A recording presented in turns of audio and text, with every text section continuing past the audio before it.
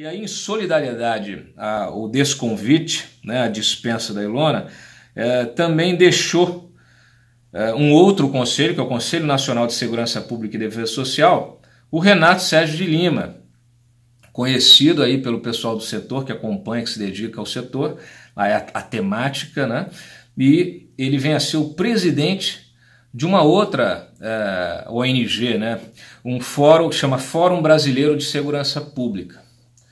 Eu abro aqui um parênteses só para dizer que essas, essa, tanto o Instituto Igarapé como o Fórum Brasileiro de Segurança Pública são financiados, são patrocinados pela Open Society. Tá?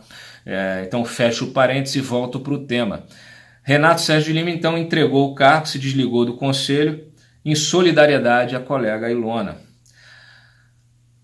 E aí você se pergunta, tá, e daí, Cláudio? E daí o seguinte, que pouca gente reparou numa coisa interessante, muito interessante. Não sei nem se o presidente reparou, porque ele assinou o decreto de posse de armas. E lá no finalzinho do decreto tem um trecho que fala justamente quem pode, quem não pode e tal. E aí tem aquele, aquela, aquele, aquela, aquele artigo ali que fala o seguinte, que olha, terão direito né, a, a, a tirar aí a, a posse de arma, poder a portar a arma, na verdade, né?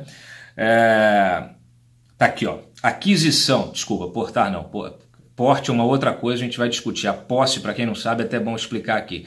Posse e porte são coisas diferentes. A posse é aquela que você tem, você pode ter a arma em casa, né? E a, o porte é aquela que você pode utilizar, pode, é, você pode andar com a arma, né?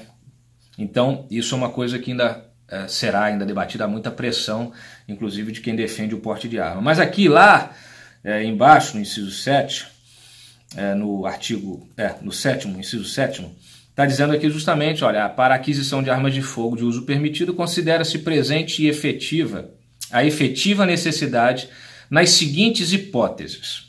E aí vem agentes públicos, inclusive inativos, área de segurança, integrantes da ABIN, administração penitenciária, do sistema socioeducativo, envolvidos no exercício da atividade do poder de polícia, militares ativos e inativos, residentes em área rural e residentes, vocês vão lembrar que isso foi debatido na, na, imprensa, mas pouca gente se ligou num detalhe.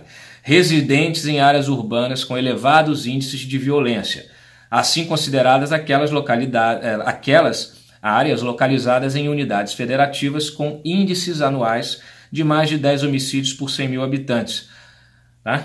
No ano de 2016, conforme os dados do Atlas da Violência produzido pelo Instituto de Pesquisa Econômica Aplicada, IPEA, e pelo Fórum Brasileiro de Segurança Pública. Justamente o Fórum, essa ONG desse é, do colega da Ilona que agora é, resolveu é, sair do conselho, desse outro conselho que tem aí, que é o Conselho Nacional de Segurança Pública e Defesa Social. Então, Fórum Brasileiro de Segurança Pública produz a estatística que é utilizada, que está prevista inclusive em decreto para ser utilizada como parâmetro para a posse é, de arma. O que vocês acham? Né? Quando a gente considera as estatísticas que são produzidas por quem é, tem essa essa pegada, né? tem essa abordagem diferente. Né? Eu acho meio complicado, eu acho que a gente tem que colocar uma lupa desse tamanho em cima, né? e acho até que esse tipo de especificidade não deveria ter no decreto.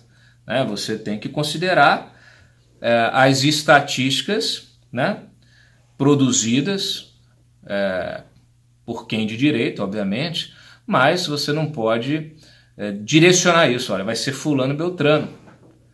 Ah, o IP é legal, bacana, oficial, ok. Ah, então você vai ter uma do outro lado que é tudo bem, mas é, quem garante que é, você não terá aí uma, um vício na forma, né? É, quem garante que você terá confiabilidade nisso? Há muita gente, eu conheço especialistas que já me disseram, pessoal que tem essa que tem uma postura, uma posição diferente, oposta a essa a essa dessa turma aí é, de esquerda, e que fala o seguinte: olha, os números estão é, estão inclusive sub é, subdimensionados. É, gente da segurança pública, agentes de segurança pública, gente ligada à inteligência, pessoal que se dedica ao tema, é, que diz o seguinte, Cláudio, o, os índices de violência apresentados por esses institutos, eles estão subdimensionados.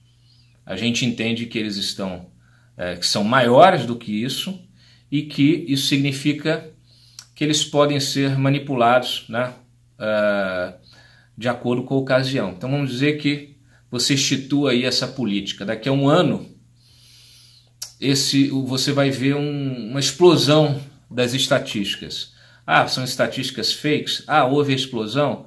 Ou elas estavam sendo calculadas ou interpretadas de uma maneira é, que não nos trazia a realidade. E agora, se elas se apresentam muito maiores, significa que houve realmente um aumento? Ou existe uma manipulação dos dados para impactar a opinião pública. Então, tudo isso é muito sensível.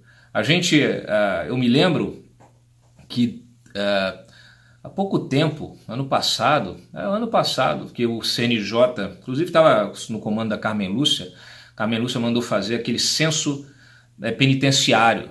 Até então, gente, todos esses especialistas, inclusive é, ela ou esse outro rapaz, todo mundo, todos esses especialistas, todo mundo se, é, se manifestando aí na, na, imprensa, falando, fazendo teses, etc., sobre o sistema, sobre a superpopulação carcerária e tal. Quando foi ver, não era nada daquilo. Era, os números eram bem diferentes. Né? Então, eles usavam números que depois se revelaram falsos. Eram chutes, caneladas. Né?